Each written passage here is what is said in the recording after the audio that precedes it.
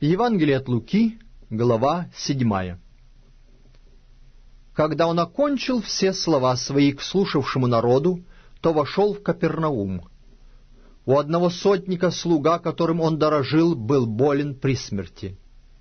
Услышав об Иисусе, он послал к нему иудейских старейшин просить его, чтобы пришел исцелить слугу его.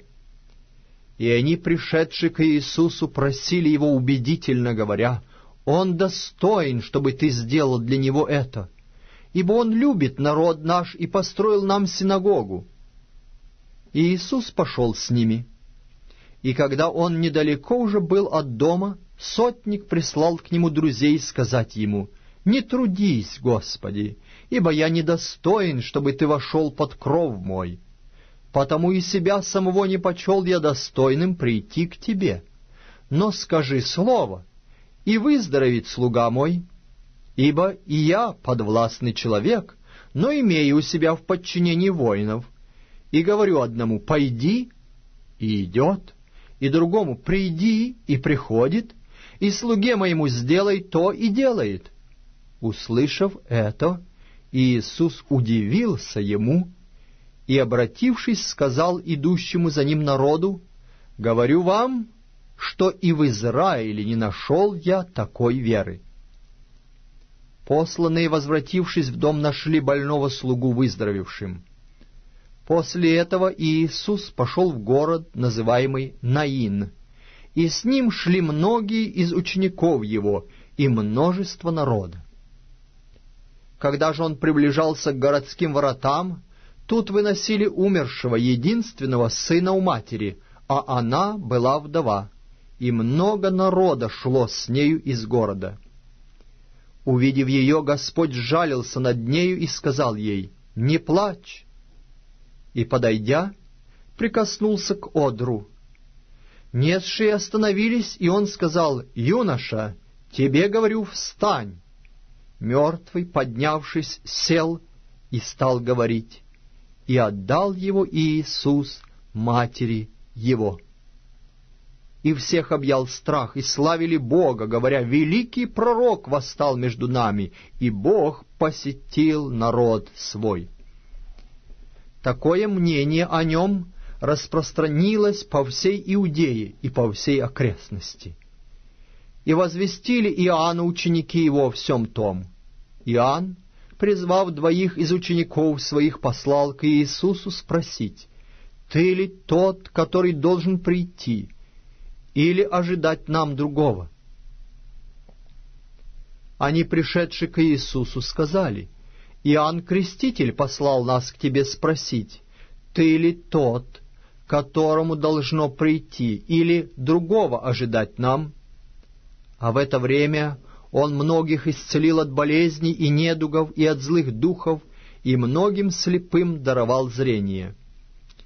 И сказал им Иисус в ответ, «Пойдите, скажите Иоанну, что вы видели и слышали. Слепые прозревают, хромые ходят, прокаженные очищаются, глухие слышат, мертвые воскресают, и нищие благовествуют» и блажен, кто не соблазнится о мне». По отшествии же посланных Иоанном начал говорить к народу об Иоанне, «Что смотреть ходили вы в пустыню? Трость ли ветром колеблемую? Что же смотреть ходили вы? Человека ли, одетого в мягкие одежды? Но одевающиеся пышно и роскошно, живущие, находятся при дворах царских. Что же смотреть ходили вы? Пророка ли? Да, говорю вам, и больше пророка. Сей есть, о котором написано, «Вот я посылаю ангела моего пред лицом твоим, который приготовит путь твой пред тобою». Ибо, говорю вам, из рожденных женами нет ни одного пророка больше Иоанна Крестителя, но меньший в Царстве Божьем больше его. И весь народ — слушавший его и мытари, воздали славу Богу, крестившись крещением Иоанновым. А фарисеи и законники отвергли волю Божью о себе, не крестившись, от него. Тогда Господь сказал, «С кем сравню людей рода сего, и кому они подобны?» Они подобны детям, которые сидят на улице, кличут друг друга и говорят, «Мы играли вам на свирели, и вы не плясали. Мы пели вам плачевные песни, и вы не плакали».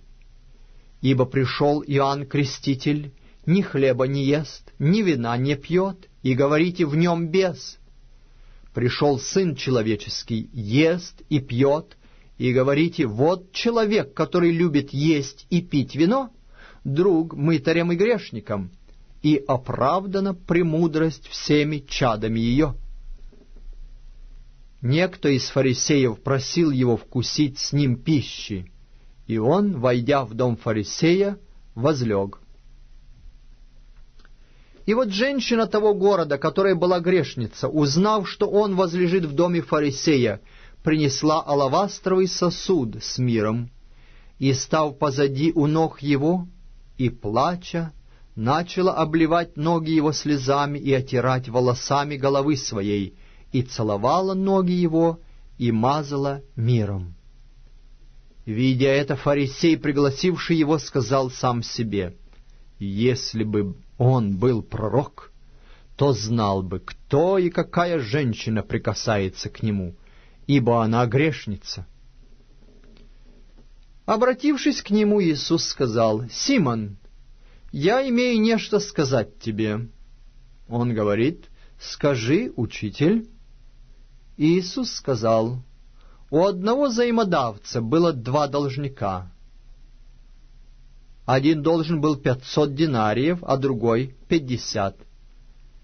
Но как они не имели чем заплатить, он простил обоим. Скажи же, который из них более возлюбит его?» Симон отвечал, «Думаю, тот, которому более простил». Он сказал ему, «Правильно ты рассудил». И, обратившись к женщине, сказал Симону, «Видишь ли ты эту женщину?» «Я пришел в дом твой, и ты воды мне на ноги не дал, а она слезами облила мне ноги и волосами головы своей отерла. Ты целования мне не дал, а она с тех пор, как я пришел, не перестает целовать у меня ноги. Ты головы мне маслом не помазал, а она миром помазала мне ноги. А потому, сказываю тебе, прощаются грехи ее многие за то, что она возлюбила много а кому мало прощается, тот мало любит. Ей же сказал, прощаются тебе грехи.